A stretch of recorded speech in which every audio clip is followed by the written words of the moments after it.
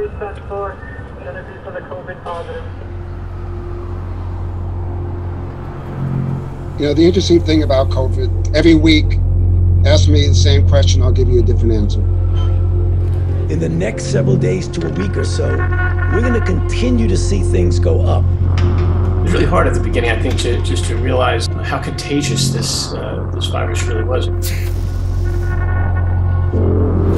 There are many things about this virus that we don't understand. Do you know what even is more contagious than the coronavirus? the fear. And you know what it really occurred to me? Why? Why we're so afraid of the coronavirus? It's because it's invisible. We have no idea where it is.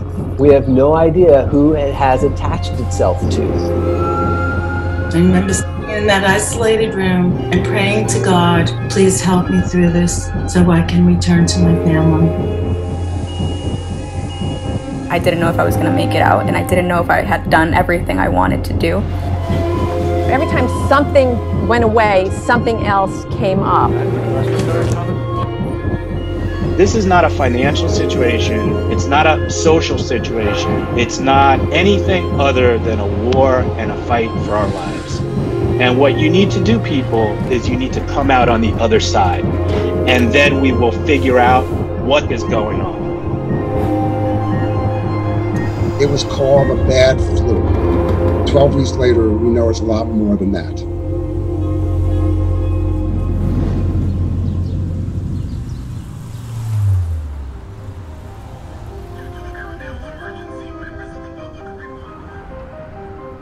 So, you know, a lot of people ask me where I got COVID from, if I know. I say I got it from New York. so it began just living living and breathing along with 8.5 million people it blipped for us early December that something was going on in Wuhan, China. Began to realize that, like most epidemics, they don't tend to be confined. This virus is spreading very quickly because, as the name says, it's a novel coronavirus, so none of us have immunity. At first, I wasn't ill, I just was tired, very fatigued. Two weeks after that, I now knew that I had the COVID virus. For me, in my instance, I personally did not think I would get COVID ever. I didn't think I had COVID because, in my mind, if I had COVID, I would be immediately dead. Just by saying the words to me, I'd be dead. The highest fatality rate is for those aged 80 and over. I woke up and had the scariest symptoms of my life, which was just tightness in my chest and heaviness. For me, it felt as if someone were sitting, someone heavy were sitting on my chest, and they were covering my mouth with a wet rag that was hot.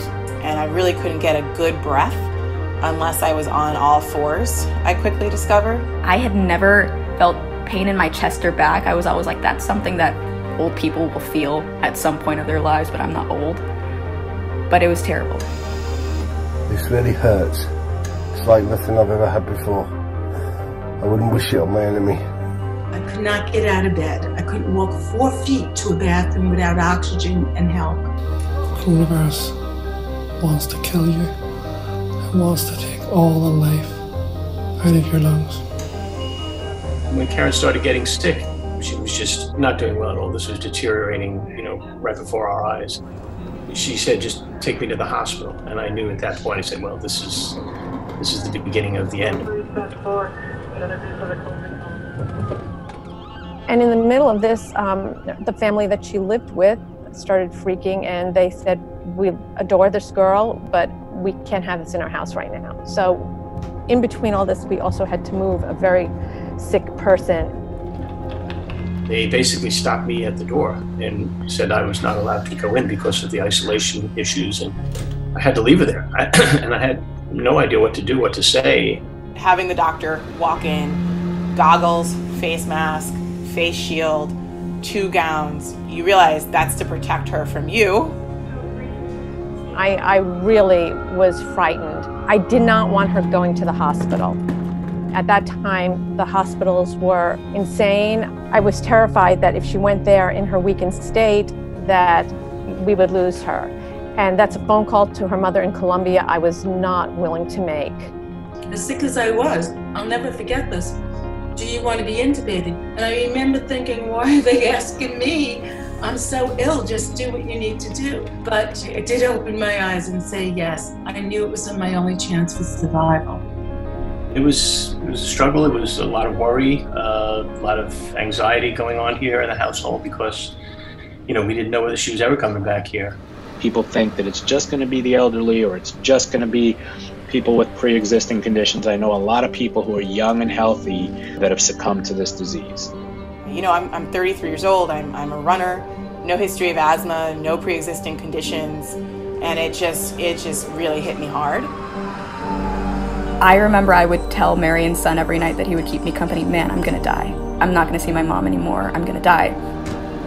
I, I can't describe the fear, the absolute terror of going to bed every night and saying, please don't die, please don't die, please don't die. A lot of my middle-aged patients, you know, they're healthy. They never saw their vulnerability. And boy, they were introduced to it, the mortality, they got introduced to it in a really hard way. It was really a scary experience, and the worst part is that you have to go through that alone. To be isolated and alone with no physical contact and know that there's not someone in another room when you yell help, that somehow you're going to have to get yourself to a piece of equipment. You're either physically isolated or emotionally isolated and told you can't be around people you love for weeks on end. This wasn't a five day flu. Many patients, I would say 14 days was the typical course where people were basically like prisoners, open, either opening a door and shoving food under the door, um, and they were isolated. So there's a tremendous anxiety component that we've been identifying with these patients. She died alone. We didn't even get to say bye to her. We couldn't even give her like that boost of morale to say, hey, you know, you're gonna come out of this, or we need you to come out of this. Like, there was nothing. When you go through an experience like that, you come out saying, I am so grateful for life. How can I be the best person I can be? And the way that I can do that is by going back to work and helping other people. When you go through something like this yourself firsthand, it really does change your perspective. It just it makes you notice that there's so much you take for granted. Hopefully it makes me kinder, not just to myself, but to others. And I would say you can survive it. You can. And you should keep that attitude until something happens that you can't survive. Just the empathy of knowing how sick you can get and how important it is that as we talk about reopening the country, we also take a real moment as a nation to pause and give respect and mourn those we've lost and those who are still suffering. We hear these numbers and we hear these statistics, and unless it's affected you personally, I don't think it registers to people that these are individual human lives that we're talking about. To the world, you may be one person, but to one person, you may be the world. This is the most gut wrenching pain I've ever felt in my life. I have three co-workers that has died that I know of. If there's one thing that I can say that my mom would have taught me or told me now would be value your parents, value the time you have with people because you just never know when they're going to be taken away from you.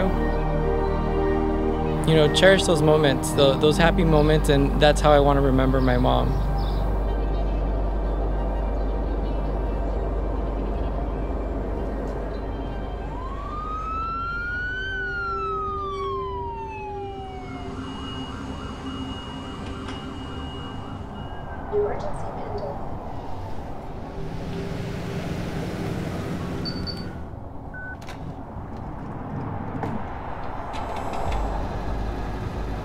This is where I want to say the healthcare providers are amazing. They were there for me. The nurses, the nurses' aides.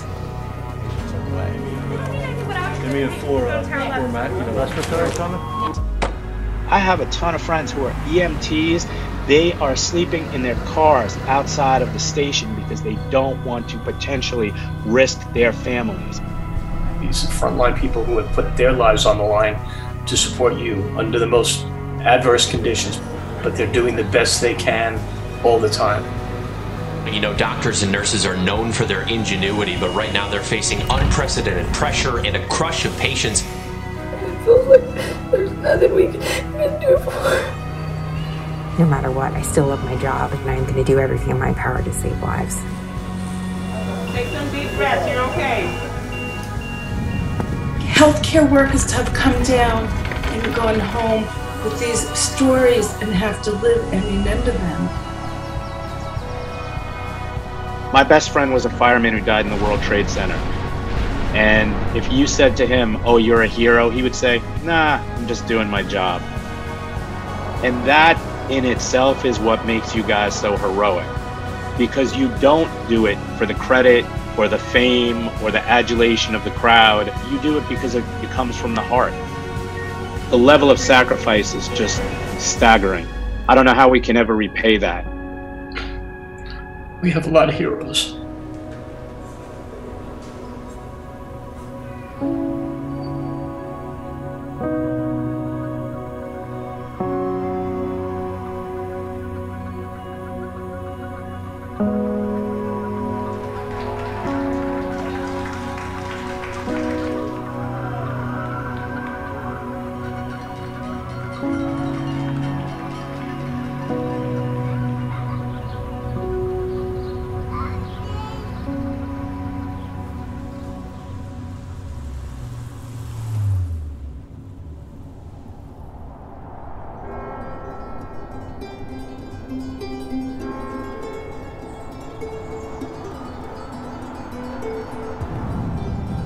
The first part of the pandemic was the fear of getting it. The middle of the pandemic was surviving it. And now it's like, oh my God, what did I just go through? You know, the question is about people who are now home, they're recovering, what's the path forward? And I would begin with cautious optimism. Depending upon the person, the recovery from COVID is going to be like a tale of a million different cities. We're finding that some patients, they just go on their merry way. But for some other patients, COVID's going to carry a multidisciplinary health burden with it that's going to require medical care, nursing care, psychosocial care, because this is very emotionally traumatic. I can tell you, I'm looking at some 12 week CAT scans that radiographically do not look like they're going to come back. Some of these x rays look like fibrotic, scarred lungs, and these lungs are not coming back. And that's going to be a whole new generation. So that story has to be told. Here in New York, I'm thinking about what can we do to not just harden infrastructure in our hospitals, but also what are you going to do for the patients who, like Gabby and myself, have moderate COVID courses, which can frankly turn far deadlier very quickly. It's really not enough to say to Americans, just stay home. You should be telling them, get an oximeter, check your oxygen. Is there a community health center where they can go just down the street to make sure they're monitored? Well, I will tell you, everybody I talked to on the phone who I know had COVID, we didn't get them tested. At the height of the epidemic, nobody got tested. So getting antibody testing on a population like New York City, we talk about herd immunity. Well, we haven't tested the herd. The herd may be 10% immune. The herd may be 30 or 40% immune. Here in New York, not only do we have high numbers in general, but just knowing that Black and Hispanic communities have been hit the hardest, really thinking about how to protect them. One way, for example, I really think is to get more PPE to essential workers, not just medical. So thinking about the next wave, hopefully it doesn't come, but in case it does, we need to make sure that it's janitors, porters, not just doctors and nurses. So now uh, we're unraveling the processes we put in during the crisis, and at the same time, building new processes to take care of a whole new host of patients. Going to be modeled almost after the World Trade Center. You know, we had a singular event when the World Trade Center was bombed, and then there was 20 years of health implications that followed. Rehab is going to be more important than ever. There are still thousands of people dying from COVID every day. We're seeing numbers rise as states continue to ease restrictions. And as states and locations start to reopen and say to you, yeah, it's safe, go back to work, you have to ask yourself, what are the motives? Why are these people telling me it's safe when for months they told me it's unsafe? Are there reasons political? Are there reasons financial? Are there reasons power related? Trust yourself. If something doesn't sound right, if your gut is telling you something's wrong, it probably is. People have this idea like it's over, but keep in mind that we have done nothing to kill the virus yet. Coronavirus has a much longer attention span than humans. So coronavirus isn't getting tired of this. COVID-19 is waiting to see what's next. So for those of you that don't think this is real, I hope you never find out from personal experience just how real it is. I just want people to be safe. That's all. And until there's a vaccination, we won't be truly safe.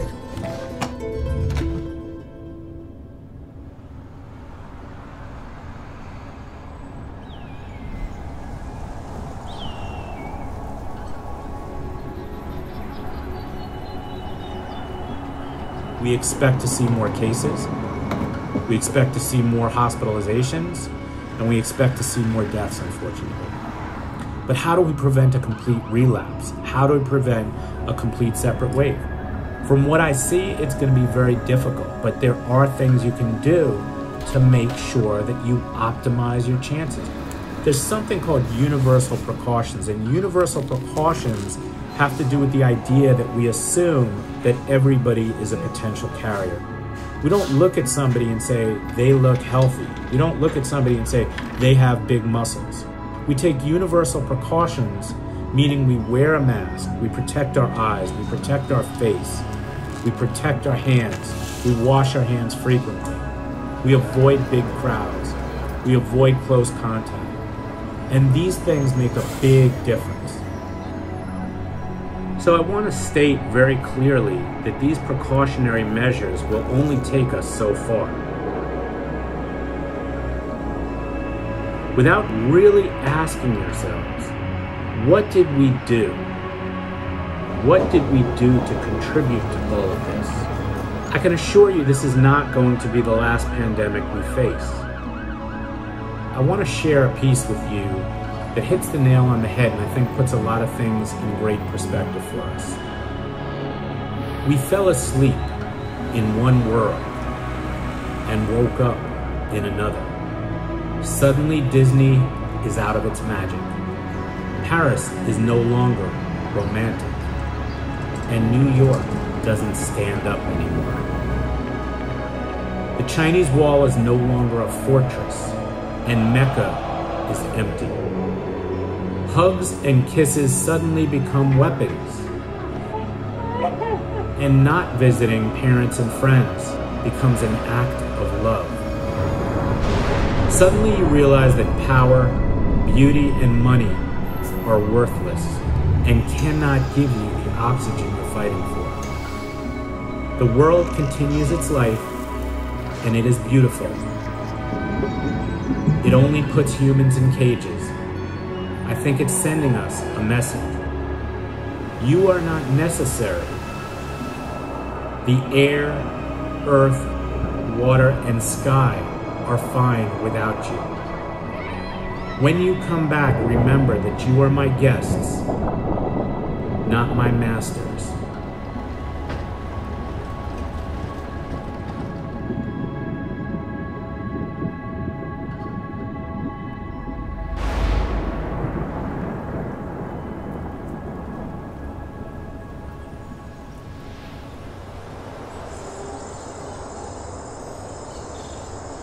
I ask you all to remember that the earth and all of its inhabitants were here long before us.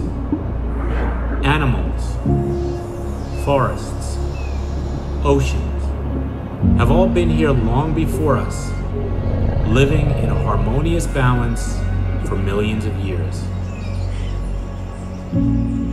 Most if not all, infectious diseases are what we call zoonotic. That means that they start in animals and jump to humans. We can socially distance, lower stress, and exercise all we want. But as long as we force animals to live in the exact opposite conditions, we are not safe. As long as we chop down our great forests, pollute our oceans with filth, and continue to force species out of their native habitats, we are not safe. Humans, we must give up this insane notion that the earth was put here to be our personal smorgasbord that we can take, take, take, take. Guess what? The earth is giving us plenty of signals. How much louder does it need to speak? As we rise from the ashes of this pandemic, I have only one hope in my heart for humanity. My hope is that we can put all of our differences aside, because when you think about it, our differences pale in comparison to our similarities. We all cry when a family member dies. We all strive to live by each other's happiness, not each other's misery. My hope would be that we can look beyond borders beyond the color of our skin, political or religious allegiances, that we can once and for all come together. That once and for all we can learn from this. My hope is that we can come away from this smarter, stronger, and better for future generations. And the way that we do that, we opt to follow the science we opt to follow human kindness, and we opt to fulfill our role as stewards of this planet and every living being on it.